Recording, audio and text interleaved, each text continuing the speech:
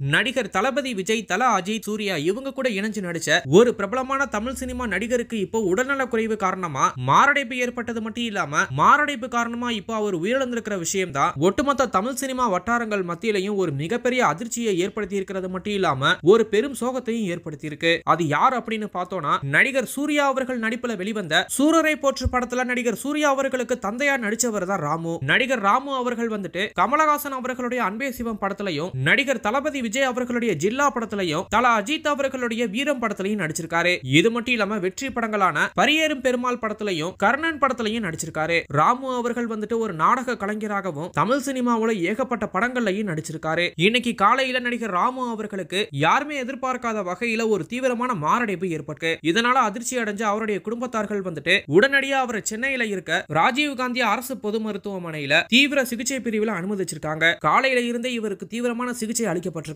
இந்த செய்தியை ஏற்கனவே நகைச்சுவை நடிகர் காளி வெங்கட் அவர்கள் அவருடைய சோசியல் மீடியா பக்கத்துல வெளியிட்டிருந்தாரு. இப்போ ராமு அவர்களுக்கு எல்லா விதமான சிகிச்சைகளும் அளிக்கப்பட்டு சிகிச்சை பலனின்றி இப்போ காலமாயிருக்காரு. இவருடைய இந்த இழப்பு செய்தியானது இப்போ ஒட்டுமொத்த தமிழ் சினிமா நடிகர்கள் மத்தியிலையும் ஒரு மிகப்பெரிய அதிர்ச்சியையும் சோகத்தையும் ஏற்படுத்தி இருக்கு சூரரை போற்று படத்துல நடிகர் சூர்யா அவர்களுக்கு தந்தையா நடிச்ச ராமு அவர்களுடைய நடிப்பானது எல்லாருடைய கவனத்தையும் ஈர்த்தது மட்டும் இல்லாம எல்லாருமே பாராட்டிட்டு வந்தாங்க. இப்போ சூரரை போற்று படம் மூலியமா இவருக்கு ஏகப்பட்ட பட வாய்ப்புகளும் கிடைச்சதா சொல்லப்படுது. ஆனா இப்படிப்பட்ட இந்த நிலையில இவருடைய இழப்பானது எல்லாருக்குமே ஒரு தாங்கிக்க முடியாத சோகத்தை ஏற்படுத்தி இருக்கு இத பத்தின உங்களுடைய கருத்துக்களை எங்களுடைய கமெண்ட் பாக்ஸ்ல போஸ்ட் பண்ணுங்க. மேலும் இது போன்ற செய்திகளை தெரிஞ்சுக்க நம்மளுடைய சேனலை சப்ஸ்கிரைப் பண்ணுங்க.